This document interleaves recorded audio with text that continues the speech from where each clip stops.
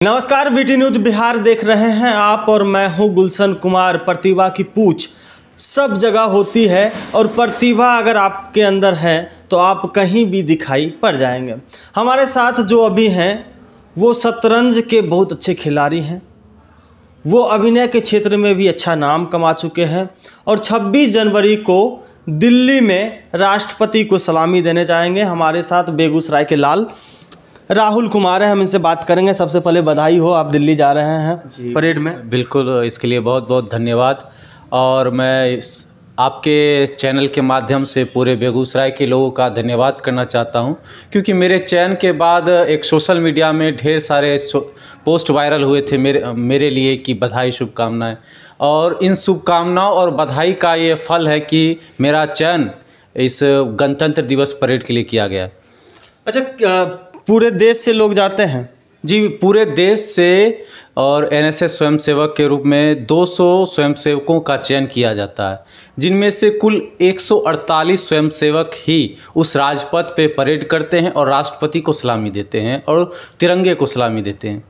और दो दो सौ से जो रेस्ट बचे उनको ट्रेनिंग के समय में अगर कोई गलती हो तो निकाल दिया जाता है। नहीं निकाला नहीं जाता। उन लोगों को भी अलग अलग क्षेत्र बांटे जाते हैं और उनमें से कुछ ऐसे लोग होते हैं जो सांस्कृतिक क्षेत्र में अव्वल होते हैं। तो उनको उनके लिए भी रखा जाता है और भी ढेरों काम वहाँ होते हैं। तो उनको उन कामों में लगाया जाता है। अच्छा चयन की प्रक्रिया कैसे होती है? चयन की प्रक्रिया देखिए, एक श्रेणी क्रम में होती है। पहले महाविद्यालय से शुरू होती है।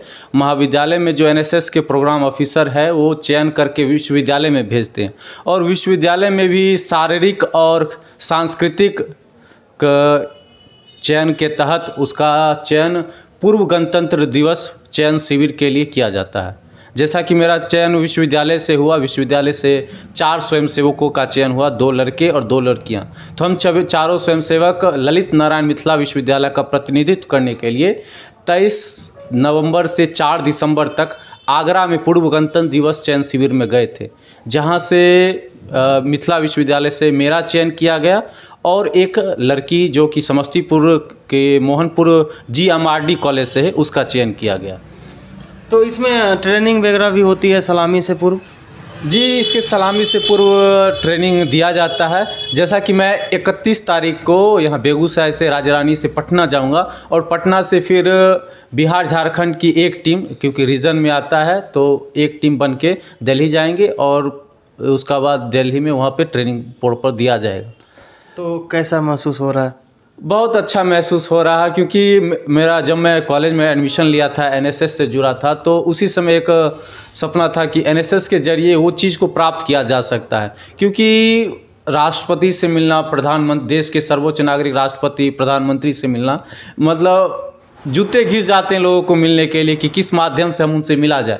तो एनएसएस एक ऐसा माध्यम है जिससे हम उनसे मिल पाएँगे, उनसे रूबरू हो पाएँगे और उनसे अपनी बातों को शेयर करने का मौका मिलेगा। अच्छा एनएसएस आप कर रहे हैं, वो एनएसएस है क्या?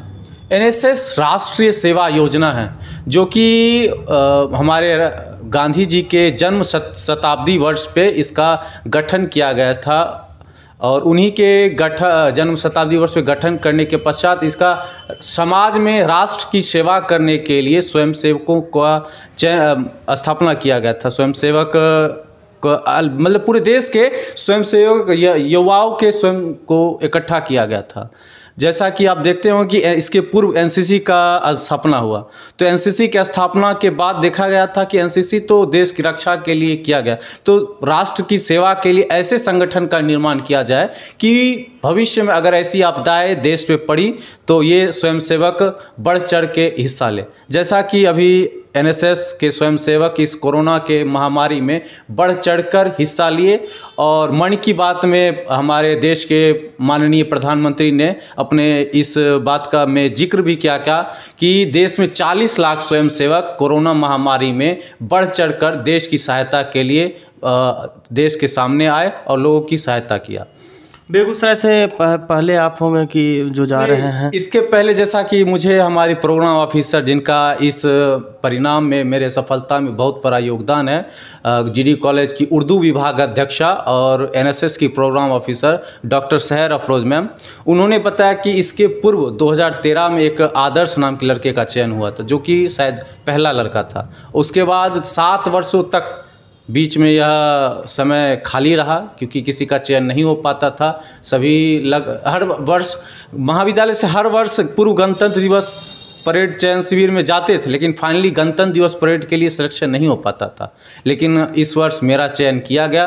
तो ये महाविद्यालय के लिए और बेगूसराय के लिए हर्ष की बात है और मेरे लिए बहुत ही बड़े फ़ख्र की बात है कि मैं बेगूसराय से मेरा चयन किया गया। और मैं बेगूसराय के के नेतृत्व को वहाँ करूँगा और बिहार का प्रतिनिधित्व करूँगा। अच्छा शतरंज भी खेलते हैं आप अभिनय भी करते हैं। हाँ, शतरंज भी खेलता हूँ अभिनय भी करता हूँ। आकाश गंगा रंग चौपाल एसोसिएशन बरौनी एक संस्था है जो रंग कर में पूरे भारत में एक अपना स्थान बना चुकी है राष्ट्रीय स्तर पे। उसी संस्था के तहत मैं देश के कई हिस्सों में जाकर अब बड़े बड़े मंचों पर राष्ट्रीय नाट्य महोत्सव में अपनी प्रतिभा का प्रदर्शन कर चुका हूँ। जिसके तहत मैं बहुत ज़्यादा लोगों से बड़ाई भी प्राप्त कर चुका हूँ कि अभिनय के क्षेत्र में हाँ तारीफ़। और उसके अलावा मैं यूजीसी के तहत जो पूरे भारत में यूथ फेस्टिवल का आयोजन होता है। उसके तहत मैं all India national youth fest में कई बार ललित नारायण मिथिला विश्वविद्यालय का प्रतिनिधित्व कर चुका हूँ और उस पर पुरस्कार प्राप्त कर चुका हूँ। और इसके अलावा जैसा कि आपने बताया शतरंज शतरंज में भी मैं डिस्ट्रिक्ट फिर इंटर यूनिवर्सिटी और इंटर यूनिवर्सिटी के बाद मिथिला यूनिवर्सिटी का प्रतिनिधित्व मैं पिछले साल में किया था। और जो कि मैं खेलने के लिए वहाँ सेंचुरियन यूनिवर्सिटी ओडिशा गया था। अच्छा इसके अलावा भी कुछ करते हैं? इसके अलावा बहुत सारी चीज़ें हैं तो मैंने बताया कि ये सारी चीज़ें हैं और और पेंटिंग करता हूँ क्राफ्ट करता हूँ ये सारे है। मल्टीटास्किंग कर हाँ। हाँ हाँ ये ये सारी चीज़ कर सकते हैं और फ़िलहाल सोशल वर्किंग से भी जुड़ा हुआ हूँ थोड़ा बहुत पॉलिटिक्स से भी जुड़ा हूँ जैसा कि आप मुझे जानते हो कि मैं ए से जुड़ा हुआ हूँ तो ये सारी चीज़ चलती रहती है। कितने थिएटर किए हैं आप अभी तक? कितने प्ले किए हैं? अब काउंट तो उतना याद नहीं लेकिन अप्रॉक्स बीस पच्चीस कर चुका हूँ। आगे का क्या प्लानिंग है? आगे का प्लान है कि कुछ वो कहते हैं कि मंजिल मिले या ना मिले मुझे इसका कोई गम नहीं। मंजिलों के जुस्त जू में मेरा कारवां तो है मेरा कारवां तो हो बस। लगे हुए हैं कुछ एक ड्रीम को लेकर तो उसको लेकर आगे बढ़ चुके हैं। तो आप लोग के दुआओं से आशीर्वाद से वो ज़रूर पूरा होगा। चलिए हमसे बात करने के लिए बहुत बहुत धन्यवाद।